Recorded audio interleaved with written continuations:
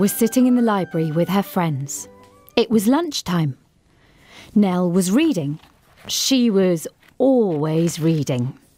She had found a book about cats and was happy. But she was the only one with a book. Her friends had gadgets in their hands. Sunita had a phone, Saffron had a tablet. Why don't you look at books? she said. We are in a library.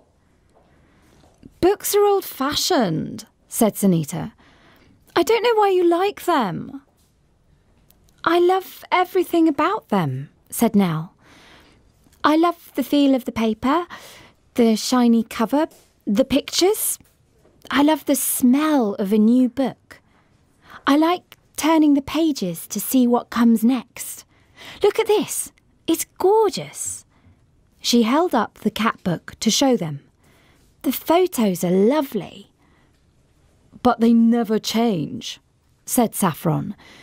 If you open that book tomorrow, all the photos will be the same as today. That's boring. I like things to be different. Sunita nodded. Me too. Look at this, said Saffron. She moved closer to Nell to show something on her tablet. You like cats, right? Nell nodded. And I love kittens. OK, kittens. Saffron tapped at her screen. So look, kittens. Hundreds of them. Thousands of them. More than you could ever look at. I know, said Nell, and they are very pretty, but I still like my book more. She laughed and hugged it to her like a teddy bear. That book is just cats, said Saffron. Look, I can change this. You like dogs? Here are dogs. You want rabbits? Here they are. What pet do you want? Ponies, guinea pigs, parrots, unicorns? Unicorns? Real unicorns? Yes, real unicorns. Look, you can buy them online. They sing and dance too. Nell grinned. Can they make ice cream?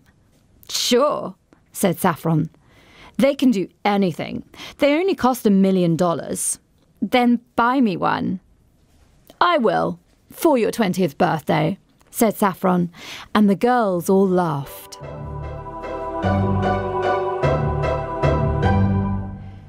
Later that night, Nell was alone in her bedroom. She thought about what her friends had said.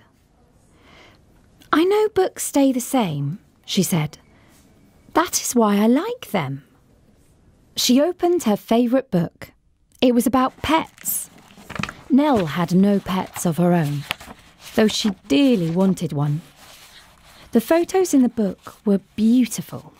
She especially liked one of a cat with golden eyes and very long fur. The fur was smoky grey. Books are better than gadgets, she told herself. Though nothing is better than the real thing. she sighed deeply and ran her finger across the photo of the cat. A magical thing happened. She could feel the fur. It was soft and silky under her fingers.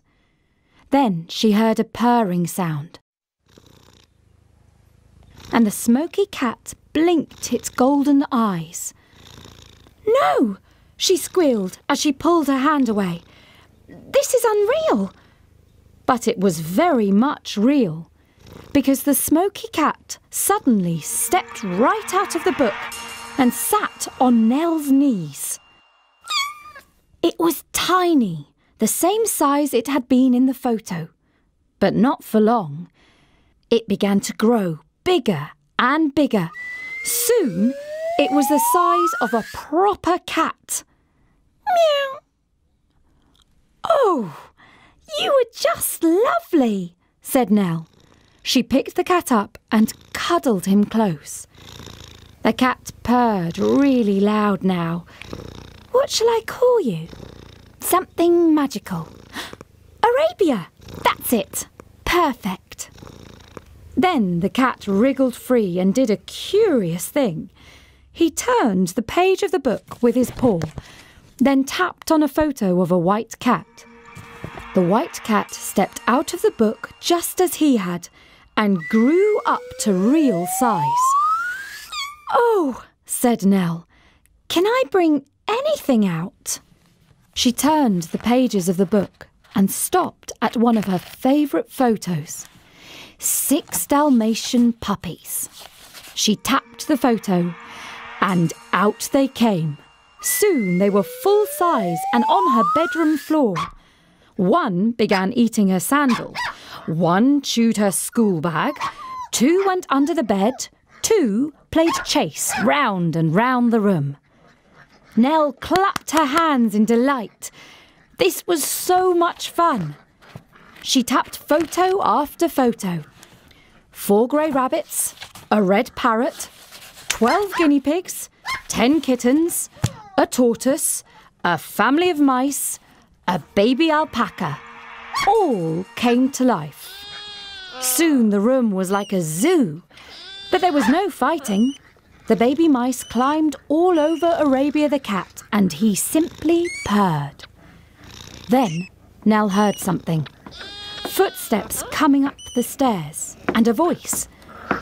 Are you ready to go to sleep now? Mum!